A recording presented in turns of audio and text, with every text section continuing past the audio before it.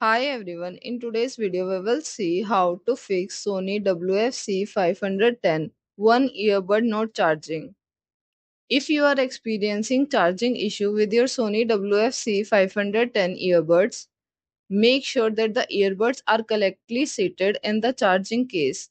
They should align with the charging contacts to ensure the proper charging. Also, always use the USB Type-C cable that come with your earbuds.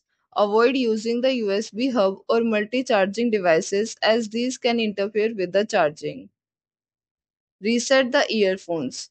If cleaning and checking the connection do not work, try resetting your earbuds. This will restore the factory settings and may resolve any internal issues affecting the charging.